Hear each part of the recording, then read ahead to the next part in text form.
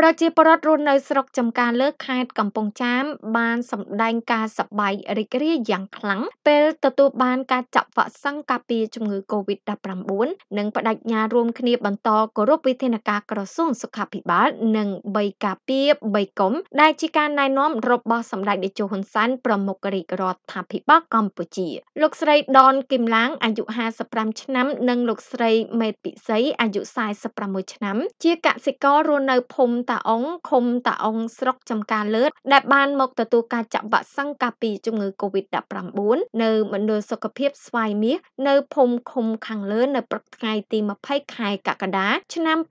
2021បានសម្ដែងការត្រេកអរសប្បាយរីករាយយ៉ាងខ្លាំងដែលរាជរដ្ឋាភិបាលកម្ពុជា បានផ្ដល់វ៉ាក់សាំងចាក់ជូនប្រជាពលរដ្ឋដើម្បីការពារពីជំងឺ Covid-19 ពលរដ្ឋទាំងពីររូបនេះក៏បានលើកឡើងស្រដៀងគ្នាថា 55ឆ្នាំចាហូនៅក្នុងភូមិណាដែរនៅភូមិត្អង់ស្រុកចំការលើចាចាហើយថ្ងៃនេះហេតុអីបានជាមកចាក់វ៉ាក់សាំងអឺដើម្បីការពារសុខភាពឬថាកូវីដអញ្ចឹងបានរាជរដ្ឋាភិបាលលោកបានផ្ដល់ជាវ៉ាក់សាំងជូនប្រជាពលរដ្ឋខ្ញុំត្រេកអរណាស់ខ្ញុំជាប្រជាពលរដ្ឋចា បានការពារអាយុជីវិត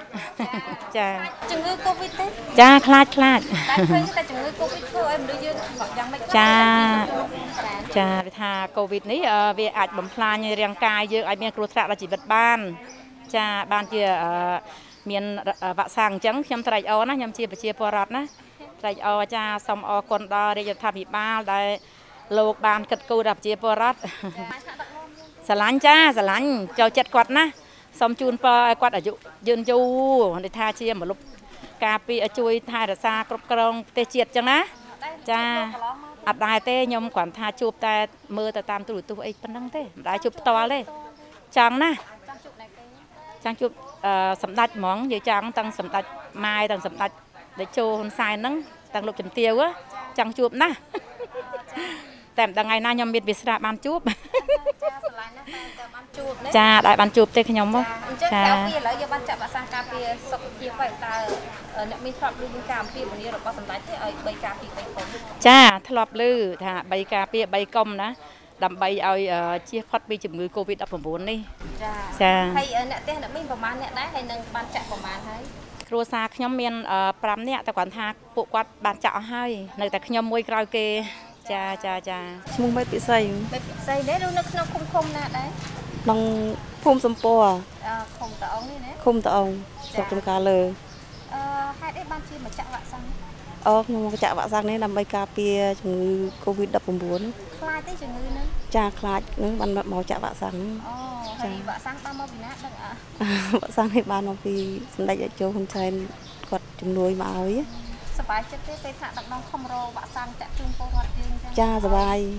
សប្បាយចិត្តហ្នឹងសប្បាយចិត្តចាចាហើយអ្នកផ្ទះអ្នកមីងចាក់បានប្រហែលអ្នកហើយអូទៅមកជាមួយមកបន្តបន្ទាប់គ្នាទៀត